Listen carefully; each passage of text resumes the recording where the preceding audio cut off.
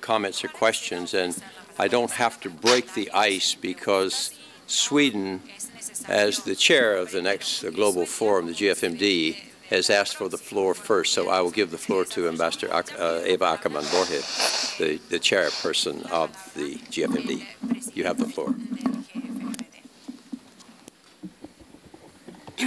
Thank you very much, uh, uh, Mr. Mr. Chairman, and uh, I would be inclined in in uh, joining the the amen, and um, now I have to maybe uh, apologize in advance for um, becoming a little bit more practical in my remarks about uh, three issues that I would like to take up as a follow-up to these excellent and inspiring presentations. Um, I'd like to, to comment uh, on very shortly on the outcome of the high-level dialogue regarding uh, the issue of international governance uh, on the post-2015 development agenda and the governance element of, of the work that we're doing there, as well as also shortly touch on the Global Migration Group and the Global Forum from a, a governance perspective.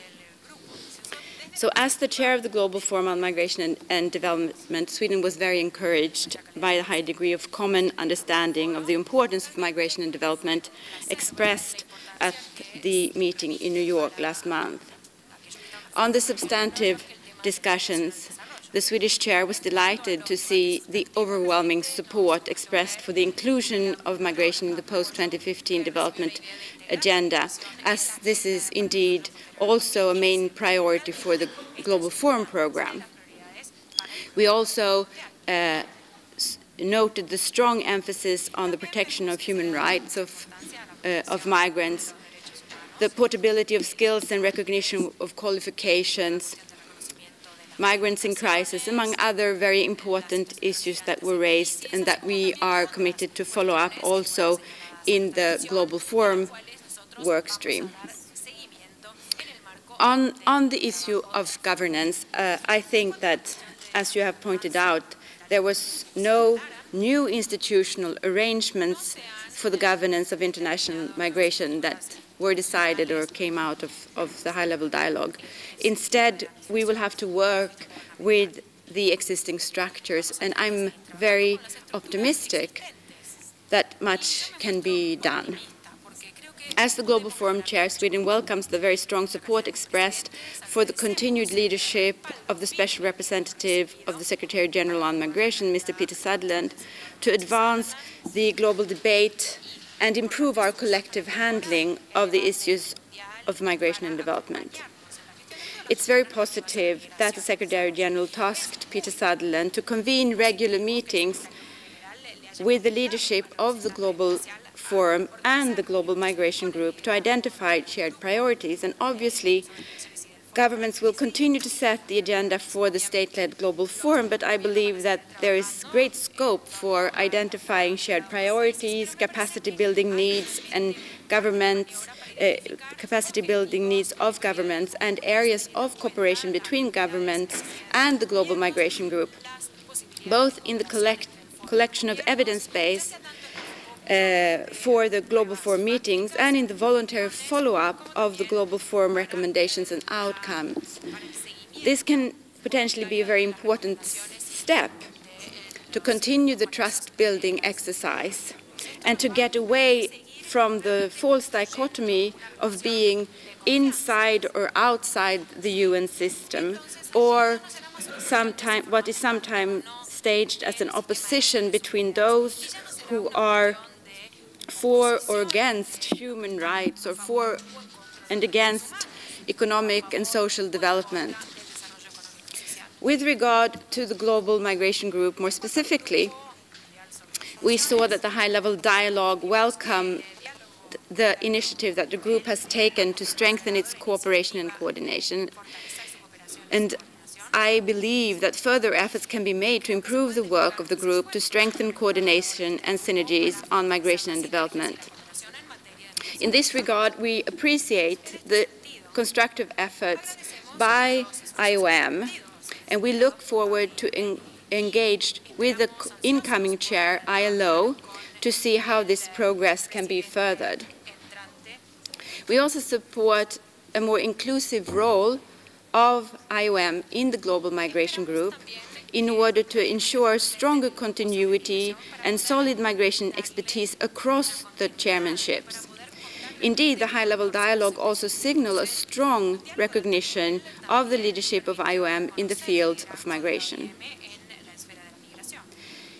Now, just to comment on the inclusion of migration in the post-2015 agenda as an important aspect also for policy coherence within the system. Sweden believes that this could continue uh, con could contribute very greatly to governments and development actors' efforts to plan for and act upon the opportunities and challenges that migration brings. In particularly, we think that it could contribute to the collective efforts of the United Nations and other international organizations, including IOM, to bring migration into their analysis, planning and monitoring efforts at country level. In fact, we believe this would generate more collaboration among the relevant um, agencies, and I was uh, very encouraged by the uh, statement by the Deputy Secretary General, Mr. Eliasson, when he was calling now also in this intervention to uh, migration to be an integral part of the post-2015 development agenda. And in this regard, I would also like to highlight that Sweden is working very in close cooperation with uh, Peter Sutherland when we are hosting a side event on this issue in New York on the 10th of December in partnership with the governments of Mexico, Bangladesh, Switzerland, as well as the Global Migration Group and the Special Representative. And indeed, he has already mentioned uh, this event, and we hope for, for great participation in, in that, of course, by all, all relevant actors. Mr. Chairman, lastly, to come to the Global Forum, and I will not dwell on, on, on that, but I would just like to, to raise the issue of, uh, of the Global Forum also as a governance issue. We were encouraged, of course, by the Secretary General in his introductory speech at the high-level dialogue when he pointed out that many of the advances made uh, since 2006 was uh, uh, to a great deal to be a, a tribute to the climate of trust that has been established by the Global Forum. And of course, we think that this is an issue that we should continue to, to discuss. What is the relevance of the Global Forum in the future government, uh, governance puzzle to, to, to be laid? And of course, one of the big important pieces of the puzzles are the regular meetings between the leadership of the Global Forum and the Global Migration Group under the leadership of the Special Rep Representative. So before closing, uh, I would like to extend the Global Forum Chair's gratitude to the Global Migration Group for its support to the GFMD process and to IOM in particular as the chair and as the host of the support unit for the Global Forum. We look very much forward to continue our common work uh, and lastly, of course, I would like to, to point out that we see uh, an urgency in the continuation of the debate on future governance of international migration, and I cannot think of any better leaders for this debate than the gentleman on the podium here this morning. Thank you very much, Mr. Chairman. Thank you. Thank you very much, Ambassador, and thank you also for the, the great work that uh, Sweden is doing under your leadership to prepare us for the next Global Forum in the spring of uh, this coming year. Uh, we look forward to continuing try, to try to support you in any way that you consider appropriate. Uh, I'd like to go on to the next speakers on the list, uh, but before I do so, I want to recognize the presence of Mr. Guy Ryder, the Director General of the International Labor Organization, our neighbor next door. Uh, uh, Mr. Ryder, please. If you're comfortable there, fine. We're also happy to have you join us on the podium. Thank you very much. Lovely to have you. Yeah. Yes. We also have uh, Mr. Uh, Sven Alkalaj here uh, from the UN uh, Economic Commission for Europe, who's already on the podium with us, waiting for the next panel. I've also, um, my, I have two more speakers right now on the list, um, ICMC and UNDP. So um, uh, I think I see, uh, John, are you there? If so, go ahead, please. You have the floor. Thank you, Chair. Um, the International Catholic Migration Commission, uh, we, we like to say amen. Uh, we're, we're fairly, fairly good at it, I think. Um, so ICMC, um, at, at, the invitation of Mexico, uh, Switzerland, Mauritius, and Sweden, has been organizing Global Civil Society, the Global Forum, these past uh, recent years, with the Office of the President of the UN General Assembly asking us to do a similar role at the high-level dialogue this year. So if you allow me, I'll, I'll, just speak broadly as a representative of civil society uh, to the issue of the high-level dialogue and action forward. We agree uh, and actually are quite stunned uh, that the big story at this high-level dialogue was strong convergence on so many important issues across the board. We saw civil society's five-year eight-point plan converge with Secretary General Ban Ki-moon's eight points, Peter Sutherland's 10 points, IOM's six points, and crucially, the high-level dialogue outcome government declaration. And we've prepared on, on the back tables a one-page matrix. It's just a checklist of that convergence. It's quite quite impressive. Now that that convergence didn't happen, however, without leadership and co-leadership.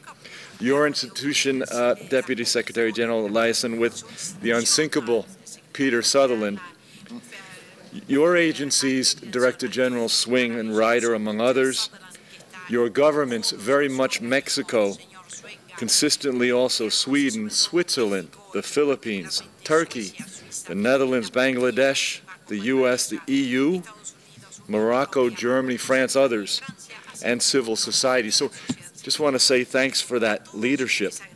But now the next step that we've been talking about so much here this week and another fora, with the first eye on the well-being of migrants, their families, and whole healthy societies, we need the big houses, the big houses of migrant origin, transit, and destination to assert, assert leadership and, where it makes sense, co-leadership, in particular IOM, UNHCR, UNDP, ILO, the High Commissioner for Human Rights, UNICEF, and UNODC. A leadership and co-leadership that's appropriate to mission-driven issues, connecting always but not getting bogged down in GMG or other interagency mechanisms unless the evidence shows they are effective or can be made so. Interagency consensus is not always a virtue. Surely convergence is enough and critical mass will do it. The same is true for governments and civil society. We are ready, huh? civil society already working with you every day globally and on the ground, and co-responsible with you. That's why we admitted that the eight points would take five years and collaboration. We have been struck, Chair, uh, struck this week with your wisdom and determination, Director General, saying again and again, we've got to go forward. The issues are pressing. We'll move together with others when we can, but we can't wait. Indeed, that reflects the urgency in the waters off Lampedusa, but comparable suffering and tragedies 24 365. On other sea and desert crossings, while we've been meeting this week, another boat went down, this time from Haiti. Another 30 drowned, 100 reportedly hanging on to the side of the boat for days. Millions of men, women, and children moved, sold, and trapped by human traffickers human beings suffering by the millions at workplaces of all kinds, including homes, with some 50 million domestic workers, most of whom are migrant women, and the disaster of xenophobia and genocide. So to close, if you allow, civil society has three questions broadly to the UN system and to IOM. First, civil society asks, what really about migrants, not just in conflict and natural disaster situations, but migrant victims of violence and trauma in transit? Second, Institutionally, civil society asks, we need more of UNDP in these migration and development processes. They're so good, and who they've put there is so fine, we need more. Second, what is the plan for IOM to give full consideration to a more formal and clear institutionalization of protection as a core mandate of its mission and work? Or the possibility to move from de facto to de jure part of the UN family in language we know very well from these processes in recent years, maximizing the positives and minimizing the negatives that might otherwise come with that. And lastly, civil society asks, I think, a question similar to what the Swedish chair of the GFMD was just speaking to, towards. How do we pick up at last and together the question of complementary global migration government governance, which evidence-based and sensible to genuine state sovereignty rises to the challenges of globalization. Here, civil society's sixth point for five years of work ahead of us all calls for, quote, redefinition of the interaction of international mechanisms of migrant rights protection, which recognizes the roles of the GFMD and GMG, albeit limited, revives emphasis of the distinct mandate of the ILO for worker protection, and more coherently aligns protection activity of the agencies I mentioned earlier. These next five years, we can together rediscover that the end to globalized indifference is localized response that guides repair of the whole system. That's where we converge. Thank you.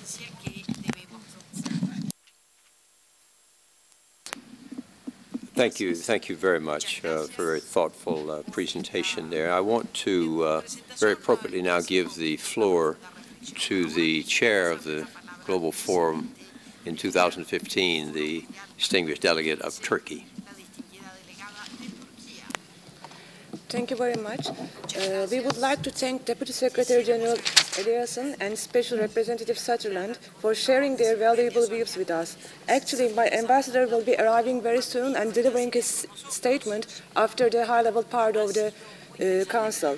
Uh, actually, uh, we would like to emphasize that we attach importance to the integration of migration into post-2015 development agenda. In this respect, we will assume, as uh, Ambassador Swing said, the chairmanship of the GFMD after Sweden. We hope that our work in this capacity will help us build further on the successful work carried out by the old chairs of the GFMD. I thank you.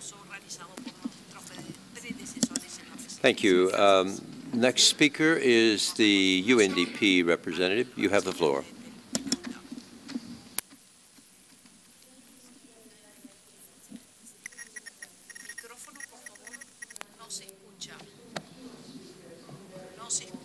Inspiring uh, presentations. And I cannot but not join in the amen Please. uh, of the former speakers.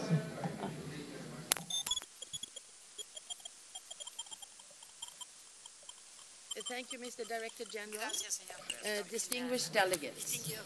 First, I wish to congratulate the two keynote speakers on their important and inspiring presentation, and I cannot but not join in the amen of former speakers. I also wish to thank IOM for its able leadership.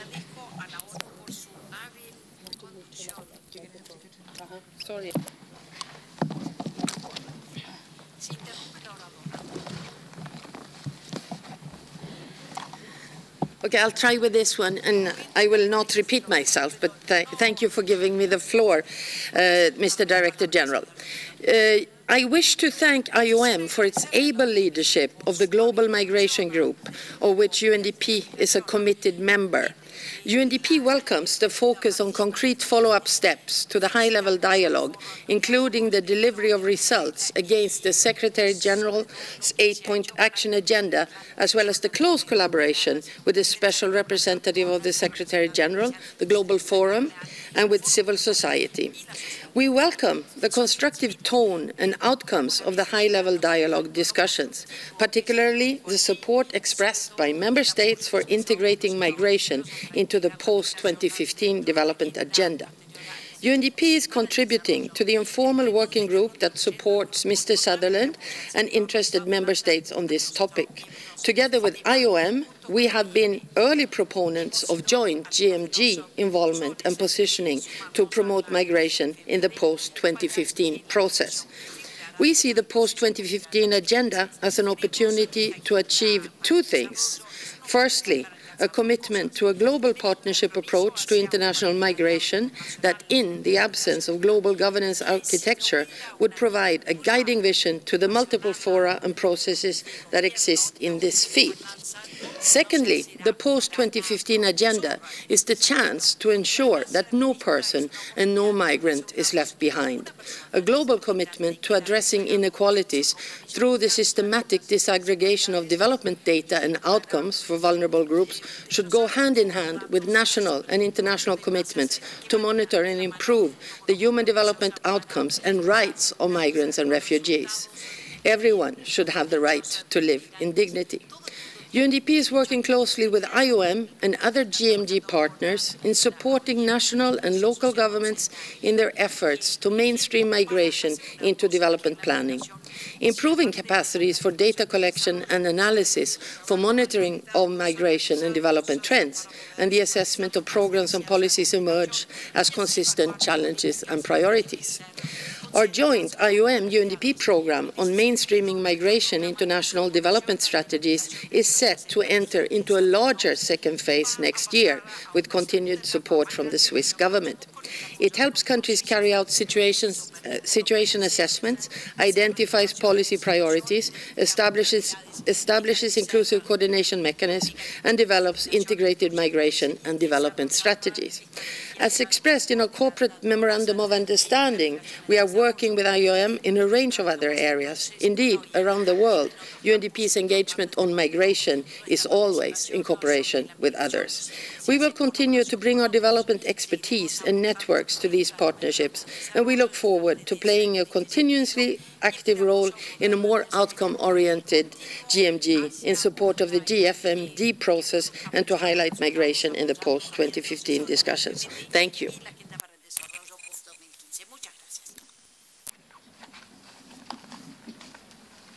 Thank you very much. I believe we've exhausted the list of speakers now, unless I see other signs. Otherwise, if I may, uh, perhaps uh, I could call on SRSG Sutherland to any comments on these uh, presentations and maybe then ask the Deputy Secretary General to close the session.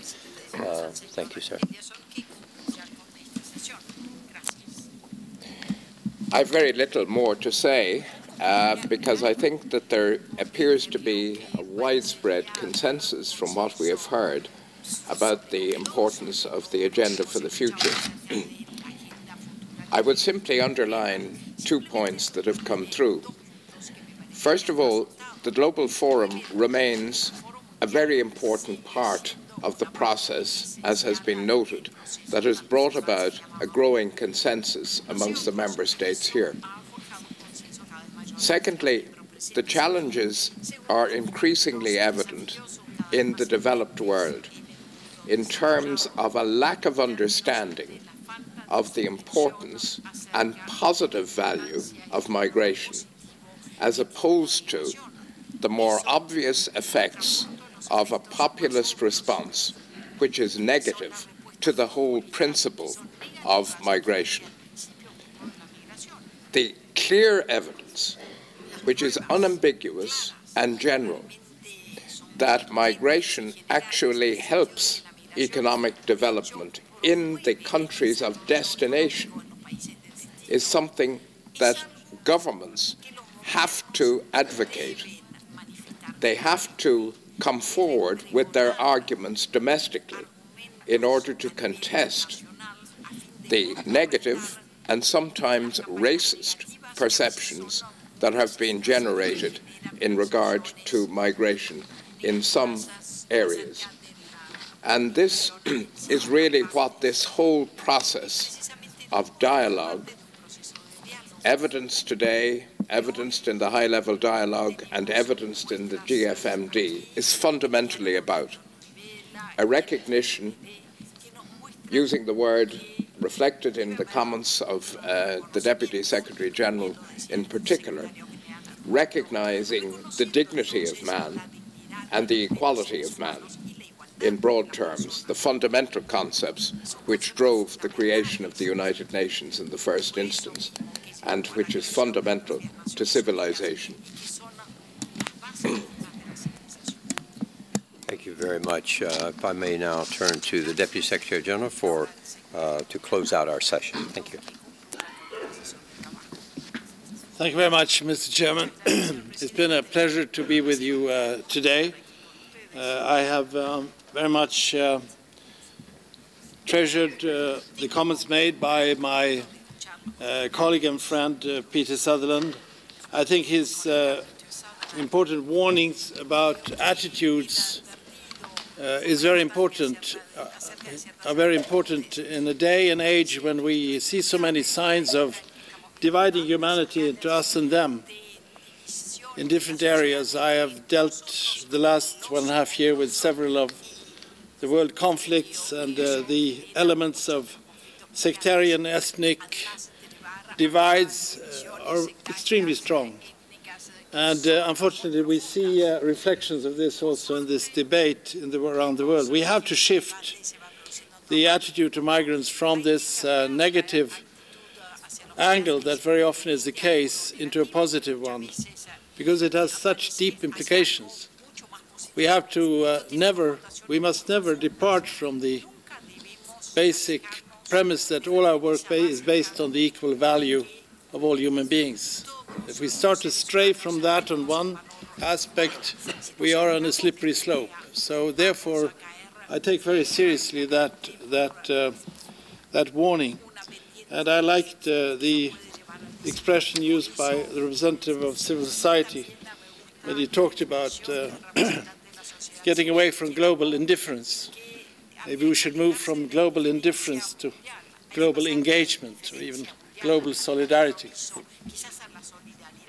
On the 2015, which is also within my responsibility under the Secretary General, uh, I, I, think it's the work ahead is going to be very much in the hands of member states.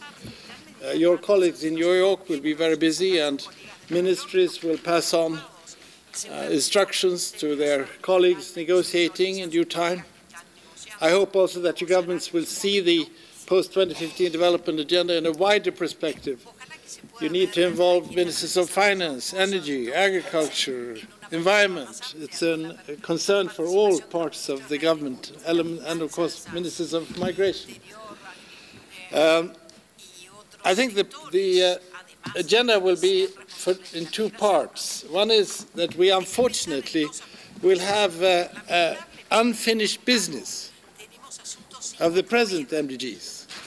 Let us not forget that we, we have almost two years left to finish the uh, present, uh, achieve the achievement spelled out in the present goals. And we have made progress on some counts, like education. It's a very, very encouraging uh, development in that area. But then there, is, there are areas where we are making far less progress. I can just mention two areas. One is maternal health, uh, and the second one is sanitation. Huge gap between realities and the goals. So we have unfinished business to do. The second area where migration comes in is to adapt to what I would call the new global landscape. We have a new global landscape in so many regards. We have uh, the enormity of, of, migration as compared to past history. We have the uh, enormity of urbanization 60% of humanity will live in cities in the next four or five years. Uh, we have, uh, unfortunately, also other phenomena, the, the, role of organized crime in today's world. Uh, we have uh, youth unemployment, which I hope is not systemic. I hope that Guy Ryder will perhaps give us some more hopeful signs on that, but it looks very bad. And it has enormous implications, doesn't it, on social and political cohesion in societies. Uh, we have a, a, wonderful rise in the role of women uh, in the world, which unfortunately has not been the case in past history. So here we have a number of areas where we have to adapt in such a way that United Nations, in my case, and other international organizations, IOM and others, will have to be uh, relevant in this new global landscape. And in many of these areas that I just mentioned, we do have, yes, organizations dealing with it, but we need, I think, more of cohesion, more of cooperation, more of dynamics between the different actors in this new global landscape. And I think a great challenge for the negotiators on the post-2015 development agenda will be to make sure that this new global landscape enters the, the discussions, the discourse that is necessary if we are to have a realistic road ahead on the period 2015 to 2030. And uh, I, for one, believe very much that migration is an indispensable part of that debate. But it is very much in the hands of member states. So it is for you to communicate to your governments, to your colleagues in New York, I guess, where the final negotiation will take place, probably in the spring of 2015, preceded, of course, by the work done now by the special working group on sustainable development goals, which will finish their preparatory work in February and then go into a more active negotiation phase until next fall. But I think there will be another negotiation closer to 2015. And that's where I hope that we have all contributed to this wider debate where we reflect the new global landscape and show that we, as international organizations, can prove that we can play an effective role and that we by that can say to the world that international cooperation is important and relevant. If we don't pass this grade, if we don't do this, then we feed the tendencies that Peter Sutherland and others have mentioned here. Because there will be those who say, well, the international organizations cannot deliver. Let's look inward. Let's find our own solutions. And that would be very dangerous in today's world, where I think international cooperation is an absolute necessity. I would say, I would go as far as to say, in today's global world, global community, international cooperation, international solutions to these global issues, whether it is migration or climate change or whatever, the international solutions are, in fact, in the national interest. International solutions in today's world are basically in the national interest. We have a long way to go to reach full understanding of that. But the moment we do, you can imagine how much easier things will be in parliamentary debates with the reflections from editorial writers and public opinion. But I think it's basically true and relatively easy to prove. So here is the role of advocacy that was mentioned earlier by both Bill and Peter, I think, is to, to be taken very seriously. We have to prove the point that international solutions are necessary, but that they're also basically in the national interest. Thank you very much.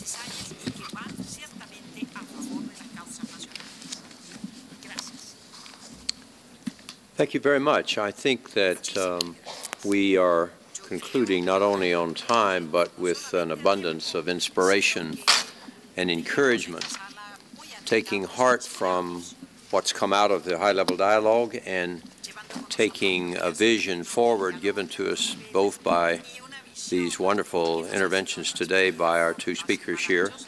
Um, I would like to thank you both very much for the insights, your wise counsel, and, and pointing us in the right direction here because we're clearly at a, at, at, on the cusp of something new here uh, and getting ourselves lined up for this new global landscape we, uh, since you uh, are joining us today and uh, we had our report on Tuesday, uh, we have outlined a, a five-year program under the title of uh, Continuity, Coherence, and Change, and I think that's all been covered in your remarks. We continue to do those things which have worked well for us, and we try to increase the total amount of uh, the degree of cooperation in the international community, and then look for ways to innovate to get ourselves much more in line with the, the new uh, global landscape. Uh, and I think the precautions that the SRSG has laid out today need to be of concern to all of us because there is, I'm sorry to say, not a lot of political courage out there on the issue of uh, migration. It doesn't easily bring in votes, and we're going to have to do a job of helping governments to find the courage to talk about the inevitability, the necessity, and the desirability of large-scale migration in our times. So I believe there are a lot of elements left today for food for thought for all of us here, both in terms of follow-up to the high-level dialogue, and we cannot leave the declaration standing. We, we now need to go to action, and we will also look to the working group on IOM-UN relationships and the 12-point strategy to give us further guidance for the way ahead and the changes we need to make. Because the ultimate success of the high-level dialogue is now going to depend on concrete action. And if we don't go to action, it will all probably have been somewhat in vain. So I think that at one point or the other, one of uh, both of our speakers will have to leave us. I think the, the Deputy Secretary General has to leave uh, a little closer to noon, but feel free to depart when you have to. Uh, we'll, we'll regret to see you leave, but I know you have other obligations. And I think that uh, the SRSG can stay with us for the next session, and he has an obligation after that. So if I may then just uh, segue